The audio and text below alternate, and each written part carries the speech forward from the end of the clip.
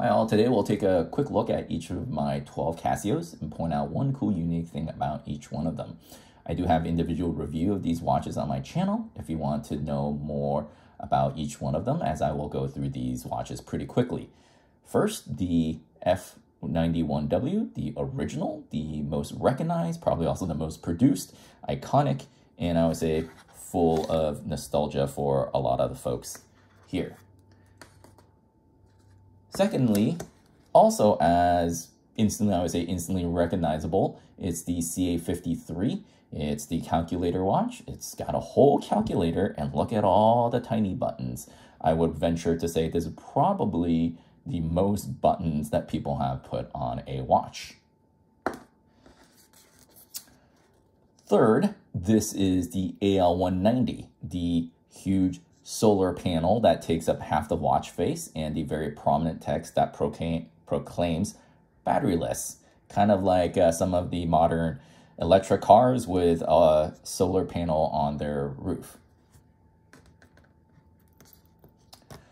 Fourth, it is the G-Shock GWM 5610.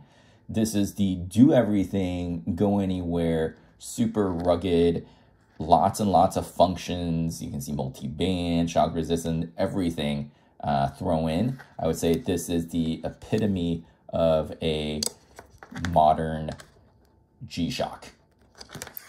All right, let's move on to our fifth watch. This is the G-Shock GMA S2100 in white. This is the so-called smaller Casio, and this is the most patriotic uh, red, white, and blue colored watch I have.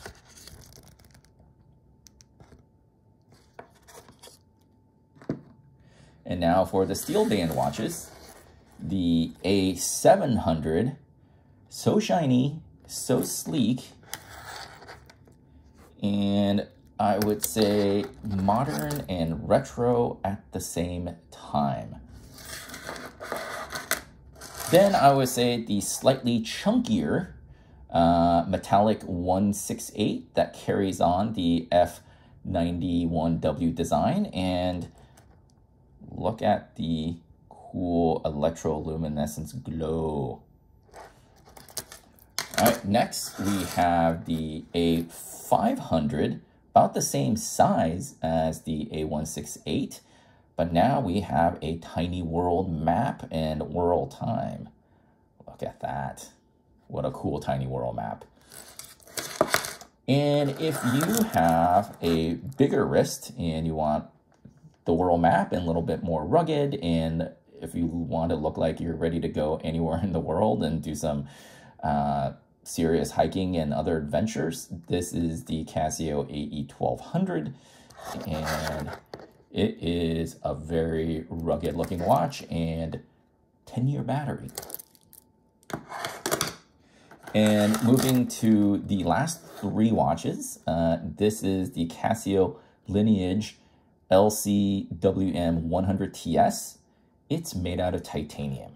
Yes, it has a world timer, solar, charging, atomic radio sync, but coolest thing, it's made out of titanium. So it's very space age, um, or maybe if you're a golfer with a Callaway Great Big Bertha driver from the late 90s. And then there's the Edifice F or EFRS 108. This is the Casio I would say that's actually the closest design to the uh, to the Royal Oak. This is thin, sleek, and I would say out of the bunch, the uh, the classiest one out of the bunch. All right, lastly, we have a chronograph. The also an edifice, the edifice EFB 700. It's a chronograph. Let's see the little number go. It's a chronograph that's, I would say, super well built and just solid, solid watch.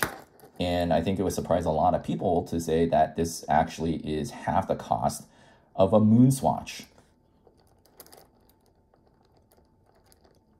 And so thank you for watching, and I hope you enjoyed seeing all of my Casios.